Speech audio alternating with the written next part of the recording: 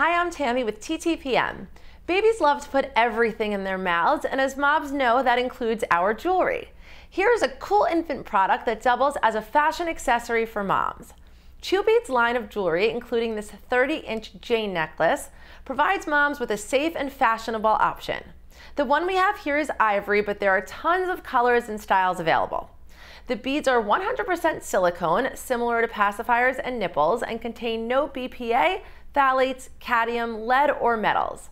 Soft on babies' gums and emerging teeth, this necklace is especially useful when your teething infant needs to be held to be comforted since they can easily grasp and suck on the necklace. It also acts as a sensory tool to help babies focus while nursing.